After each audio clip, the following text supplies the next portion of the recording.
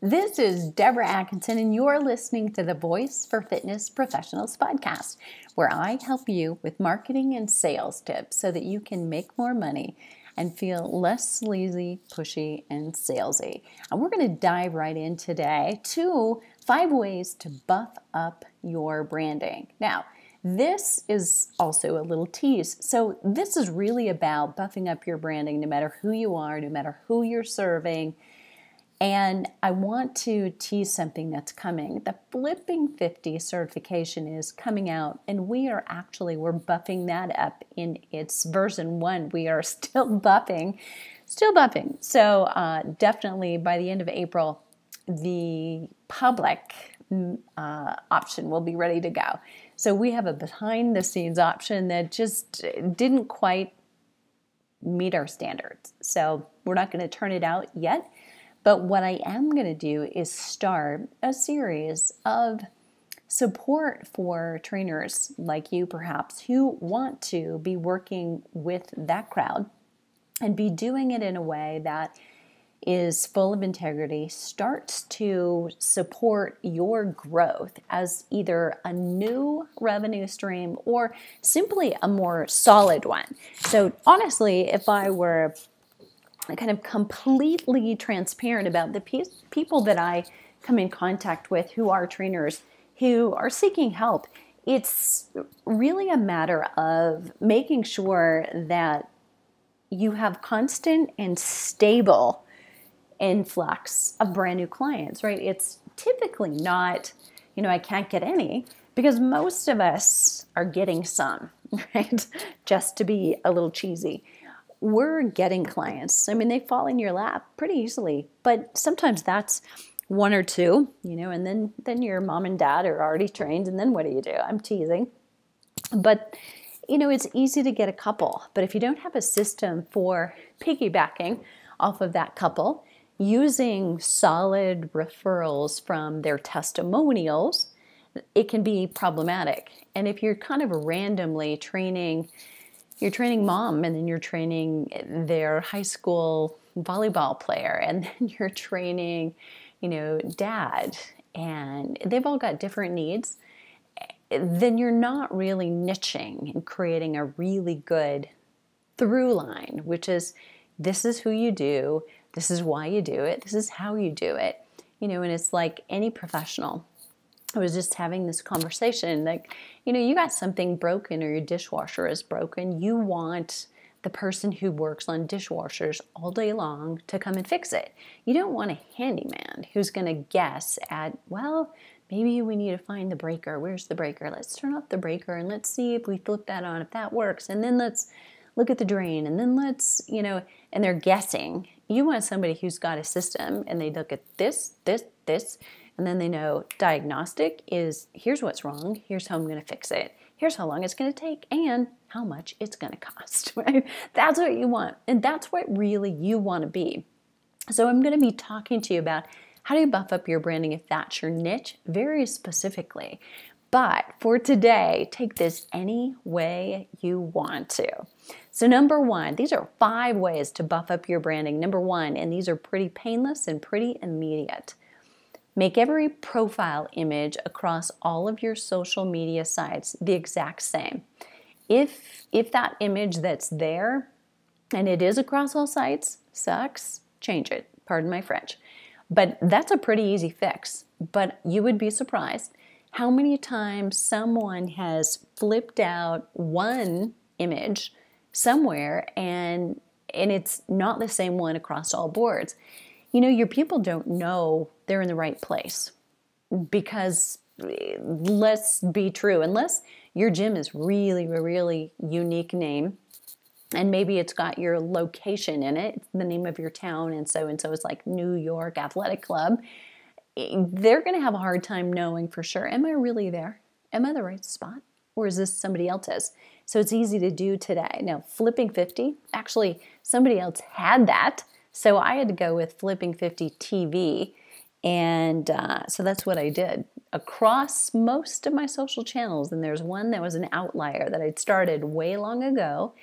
and made a mistake of choosing a poor name, but I have so many followers that there's no way I want to cancel, you know, and get a new one. So make your decisions wisely, but go in and change your profile image. So if you're using your business logo, make sure you're using your business logo across all, and that when you go in and look at it, view it as a visitor would that it's a really high resolution image and it represents you really, really well. Number two, make every social account reflect the same URL if possible. So I almost dipped into that one early, right? So when I did the Flipping 50, it was gone. So I'm at Flipping 50 TV across my Facebook, across my Twitter channel, and across my Instagram channel on my Pinterest channel, I believe I'm at Flipping 50, and my YouTube was the bomb. Just the bomb. For some reason, I couldn't get what I wanted at the time I wanted it, and it was uh, a good thing because I wouldn't have wanted that now either. But what I ended up choosing in like a pinch, and I don't know why I came up this or where I came up with it, but all ages fitness. Yeah, let's not let's not beat up on Debra. But I have since been able to change it, not the URL, but actually if you plug in the URL Flipping 50 TV, I will come up. So some things work, some things don't. Completely work in your favor, but do the best you can right now to be sure that it gets there. And then change it in all of your like your pretty links or your bit links, customize them so that it does reflect the URL that you wanted to, or it's bit.ly forward slash, you know, in your URL. Number three, give every signature product or service that you've got distinction. So if you have different departments or several signature services or products. And let me give you an example so you know where I'm going with this.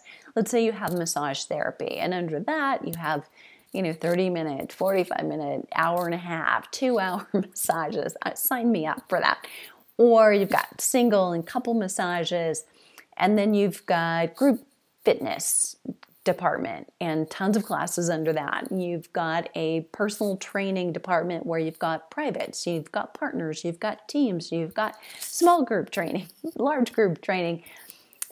You've got all those things going on, and each of them should have a distinct brand of its own.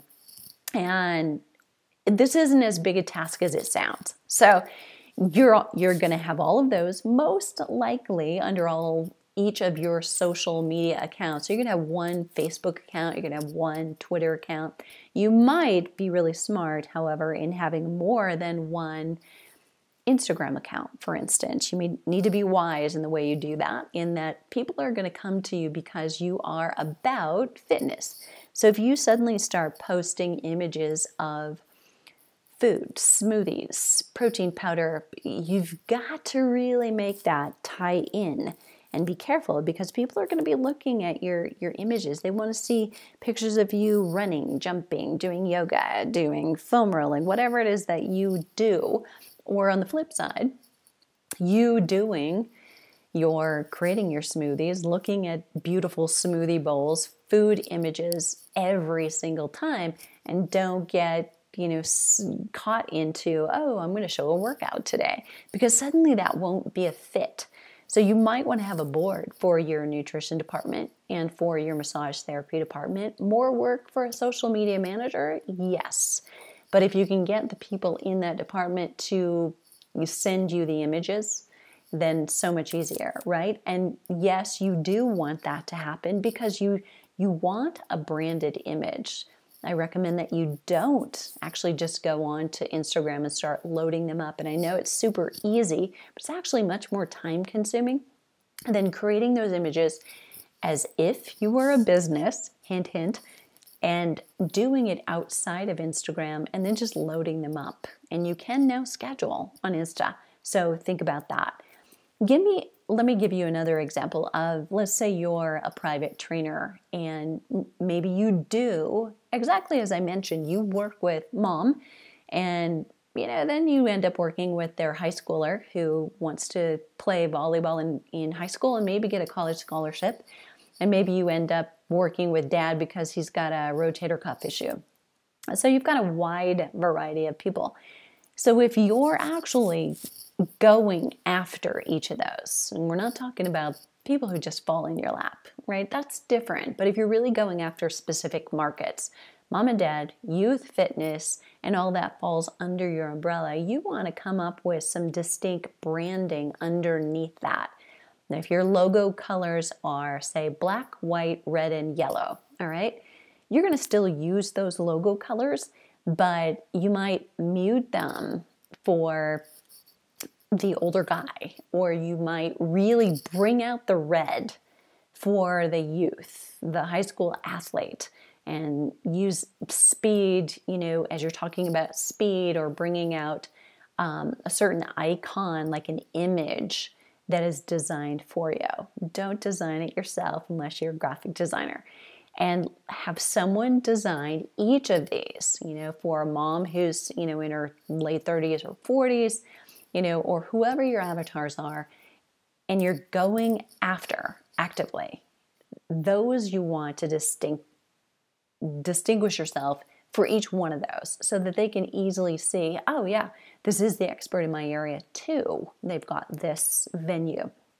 Here's an example for people who author books. JJ Virgin is a friend of mine, for instance. She's also authored, excuse me, three books that lead to unique programs, three different unique programs.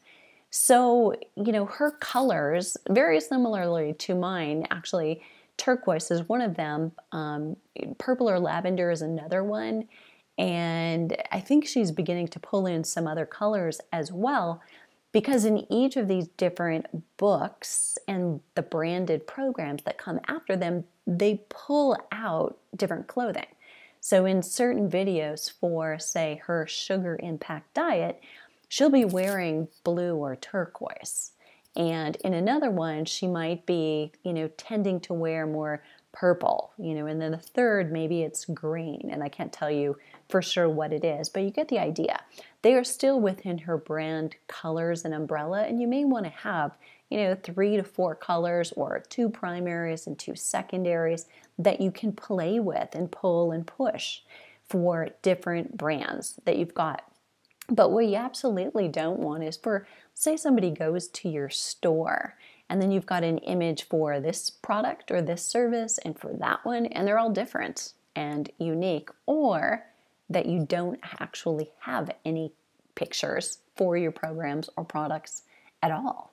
So let's take a look at um, Les Mills or BTS, Body Training System, and the things like Body Pump or Group Power, Group Step, Group Ride.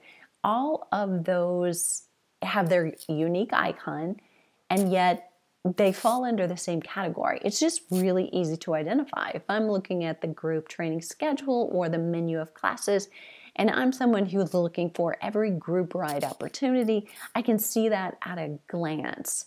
And now all the classes are there. I can see all of them, but I know immediately there's recognition. And that's what you're always striving for. So your people you you bring to your website if you're bringing all kinds of people and you offer different kinds of programs, you want to make sure they can find exactly what they want really quickly and really easily.